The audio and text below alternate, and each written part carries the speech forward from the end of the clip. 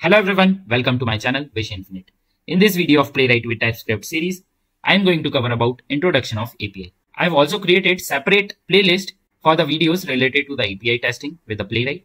If you just want to learn about the API testing through the Playwright, you can access the separate playlist. So what is an API? API stands for Application Programming Interface. It is a set of rules and protocols that defines how two software programs or systems can communicate with each other. API acts as an intermediary between two systems, allow them to exchange data and functionality. Here we can understand it with the help of this diagram. So we have two systems, system 1 and system 2. We can also call system 1 as client and system 2 as server. And these two systems wants to communicate with each other. So when I am saying the communication, so here system 1 would be sending the request to the system 2 with the help of this API and in return system 2 will send the response to the system 1 through the API. So here API acts as an intermediary between two systems, allow them to exchange data and functionality. Here we can also understand it like this that API allows web and mobile application to access data from DB or API allows web and mobile application to access data or functionality of a third party server. Here we can also understand it with the help of an example. So Make My Trip is a website where we can search for the different flights for the different locations and we can also book the flight. So here Make My Trip is the client who wants to get all the details related to the flight or the inquiry which user will do and how it can be done. So for that, all these airline companies have provided their API onto their server which Make My Trip can access. So let's say user have selected the information like from location is New York to location is New Delhi. Onto the 30th April, user wants to travel where the class is economy. And once user click onto the search button, so make my trip will send the HTTP request. So let's take the example of Air India. So once user click onto the search button, this make my trip will send a HTTP request to the API of this Air India. And then that API will go to this Air India server with all the request details.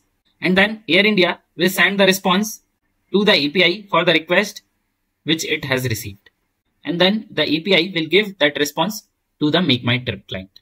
So here Make My Trip developers are using that particular HTTP response which they have received from the Air India API to show all these details where we are able to see that what are flight timings, what is the specific fare, right? It is the non-stop flight. So all these details we have got from the response. Similarly, user can also book the flight where user will have to give all the details. And then make my trip will send a request to the air india api and then that api will go to this air india server with all the details. And then air india will return it with the response. And the same response we will receive with the help of an api and to access the apis also let's say we took the example of this air india right? Who is providing their api okay? And then make my trip was accessing that particular api so to access this API, this make my trip will have to provide the API key for the security purpose, right? Otherwise, anyone would be able to access the API of the Air India. That should not happen, right? There should be some security that client with the specific key only can access the specific API. Apart from the API key, there are other different type of authentication like bearer token, JWT bearer, basic auth. So it depends on project to project that which kind of authentication is required for the APIs. If you are working onto the API testing, let me know what kind of authentication you are using. If you do not have that information, you can get in touch with the developer. They can provide you the details. For the practice purpose, you will also find some APIs where no authentication is required. So it depends, right, uh, onto the project to project that which kind of authentication is there for the APIs. So now let's move further. To create these APIs, developer need to follow some set of standards.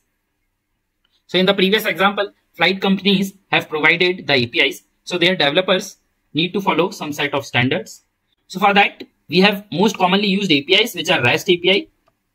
REST API provides some rules and regulations to create APIs. And here Playwright can be used to get access of these REST APIs of your application and then we can perform testing on it. Here, let's first look into all the components of the REST API. So as the tester, you should be aware about all these details even before starting the API testing. Here first we have base URL. The base URL, where URL stands for Uniform Resource Locator, is the starting point for accessing the API's resources. The base URL includes the protocol, for an example HTTP or HTTPS, domain name, and optionally a version. Here I have added these two examples.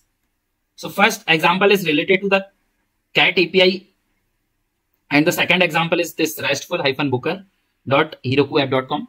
So these are two sites. So this, the CAT API site provides different APIs through which we can fetch the details related to the cat, their images, their breed and so many information we can get with the help of these APIs. These are all sample APIs. And the second one is this restful-booker.herokuapp.com. Here we can get different APIs where they are providing different information related to the hotel booking. We would be using these APIs into our upcoming lectures to do the practice. So here into the examples, you will see we have this HTTPS. So this is the protocol. After that, we have put colon double slash and then this is the domain name. And here, as I've told, we can also have optionally a version. So in case of this API, we have this v1 as the version. And this one is optional, right? In some cases, you will have it and in some cases, you will not have it. And into the second example, this HTTPS is the protocol. And then we have this domain, which is restful-booker.herokuapp.com. And in this case, we do not have any version. So these are two examples of this base URL. Now after the base URL, we have these resources. So resources refers to a specific endpoint or collection of the data within the REST API. So after this base URL, we would be having these resources.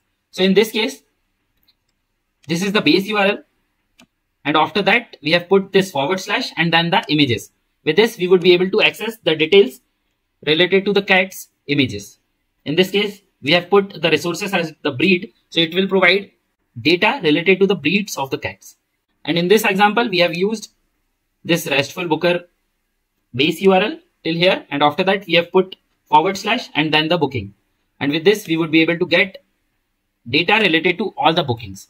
Here also you can see the same. It returns the IDs of all the bookings that exists within the API. So different resources will give you different data. After the resources, the next component is the path parameters.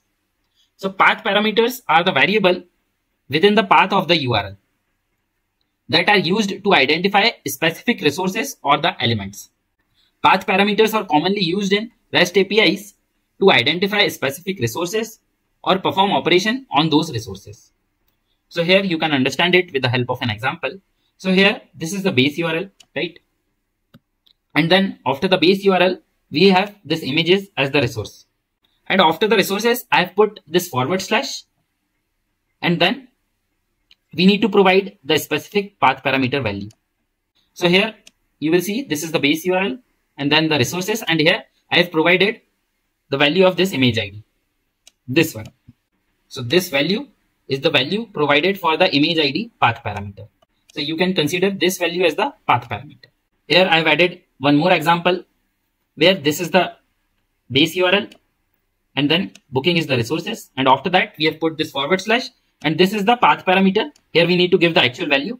So here i've given this value which is 1 so here it will fetch all the data related to the booking for the booking id 1 so this path parameter is the optional parameter. It depends on the requirement that we need to give the path parameter or not and after the path parameter i've given the sub resources and its path parameter so what it is so in rest api design resources can have hierarchical relationships, where one resource may be considered as a sub-resource of another. For an example, in a blogging API, a blog post resource might have sub-resources such as comments, likes, or tags. So the main resource would be the blog post and its sub-resources would be comments, likes, or tags related to that particular blog post. Here I have given some examples of the sub-resources and its parameters. So as we saw, this part is of our base URL. And then this is the main resource. And after that, we need to give this path parameter to access the specific resource.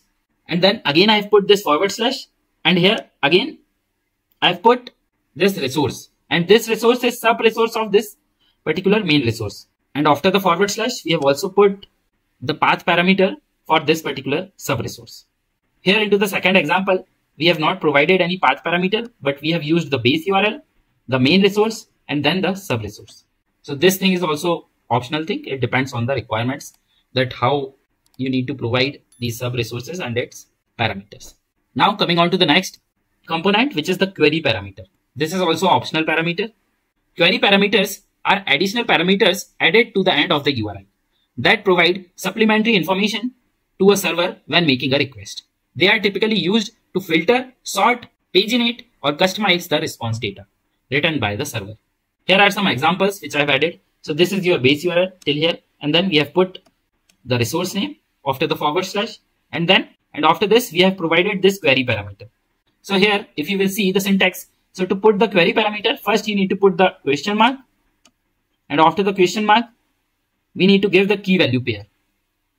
So this is the key, which is limit. And after that, we need to put the equals. And then we need to put the value for the specific key. So here, this query parameter is kind of putting the filter just to get the 10 values from this particular API. Here into the second example, if you will see, we have used the base URL, then the resource. And after that, we have put this question mark limit equals to 10. So this is first query parameter. And after that, I have put this ampersand sign. And this is our second query parameter where we are saying that page equals to 0. So this page equals to 0 query parameter we are using for the pagination where we want to get the details from the first page only. And after that again I've put this ampersand sign then I've given this order equals to descending. So we want to get all the cat information from this images resource where the query parameters are limit equals to 10. So we want to get only 10 records from the page number 0 into the descending order. So like this, you can provide different query parameters here I've given one more example where I've used this RESTful Booker API with this booking resource where we have given this first name equals to Sally and last name equals to Brown. So here it will provide the booking related to this first name and last name only. So like this, you can use these query parameters depends on your different requirements. So after using all these informations like base URL, resources, path parameters, query parameters, we can create our final endpoint. So endpoints are the URLs that represent specific resources or services in the web application or the API. And this endpoint will consider of base URL, resources, and then it can have query or path parameters. These two things are optional and depends on the requirement. So this final endpoint we would be using to send our HTTP request. And apart from this final endpoint, we should also be known about the header. So headers are additional information sent along with the HTTP request or the response. Headers provide a metadata about the request or response such as content type, authentication, credentials and more. So with our HTTP request, we would also be sending the header which will have additional information related to the content type or authentication credentials and more. So once we will perform the practical, we will see about these headers into more details. So apart from the header, we also have this body. In REST API design, the body refers to a payload of an HTTP request or response. It contains the data being sent from the client to the server in a request. That is request body. Or from the server to the client in a response that is response body. So here you can consider this body as the payload of the HTTP request or the response. So the payload which we would be sending with the HTTP request is called request body and the payload which we get with the response is called as the response body. So about this body also we will see into more details once we do the practice. So once we have all these details like base URL, resources, these optional parameters like path parameter, query parameter, header, body, so we can perform different operations onto the resources. For that, we need to use the HTTP methods and the HTTP methods are used to define the actions or operations that can be performed onto the resources. Here we would be performing CRUD operation. C is for create, R is for read, U is for update and D is for delete. And for that, we have different commonly used HTTP methods. So first one is the post, which is used to create new resources onto the server. So here by using the post, we would be performing create operation. Then we have get method, which is used to retrieve data from the server. Here we would be performing read operation. This put HTTP method is used to update existing resources onto the server. This is for update operation. And then we have this delete method, which is used to remove resources from the server. So here we would be deleting the resource. So this is the delete operation. We would be looking about all these methods into more details into my upcoming videos. So once we perform this CRUD operation using all the details onto the APIs. So in return, we get the status code. So status codes are standardized numerical codes returned in the HTTP response header to indicate the outcome of the client's request to the server. And here are most common status codes used in the REST APIs. So this 200 is the OK, which tells that the request was successful. 201 is for created and it tells that new resource has been created. 400 is for bad request, which means that request could not be understood by the server itself. 401 is for unauthorized, where it tells that the request requires authentication and the client's credentials are missing or invalid. 404 is for not found, where the resource could not be found onto the server itself. 500 is for internal server error. So here server encountered an unexpected condition that prevented it from the fulfilling the request. So in that case, we have got this 500 internal server error. Once we will do the practice, we will be able to see some of the status codes there. So these were all the basic details which you should be aware about even before performing the manual testing or the automation testing of the APIs. And that's it for this particular video. Let me give you the quick recap. So here we saw that APIs stands for the application programming interface. And by using the APIs, two systems can communicate with each other. So here we have this system one and system two. And by using this API, they are able to communicate with each other. You can also call the system one as the client and system two as the server, where the client would be sending the HTTP request to the API and then API will go to the server or the DB and then it will get the response from this server and give it back to the client. And client can use that particular response to show it onto the UI or they can perform any operation there. And we saw that most commonly used APIs are the REST APIs. And Playwright can be used to get access of the REST API and then it can perform different testing operation on it. Here we saw that REST APIs have different components like base URL, which consists of the HTTP or HTTPS protocol domain name and optional version. It has resources, which refers to a specific endpoint or collection of the data. It has path parameter or query parameter. Path parameter can be given after putting the forward slash and then its value. Query parameter need to put question mark and then the key equals to its value. And by using the base URL, resources and these query or path parameters, we can create our final endpoint. And with this final endpoint, we would be sending the HTTP request. And with this HTTP request, we can also pass some additional information with the header. With the HTTP request, we can also pass the body. And in the response also, we get the body from the server to the client, which is called the response body. And by using all these details like final endpoint, header, and the body, we can perform CRUD operation where we can use different HTTP methods like post is for creation, get is for read, put is for updating the details, and delete is for deleting the details. And once we perform these CRUD operation using the HTTP methods onto the API, we get different status codes in the HTTP response header. And here are some common status codes like 200 OK, 201 created, 400 for the bad request, 401 for unauthorized, 400 for the not found, and 500 for the internet server error.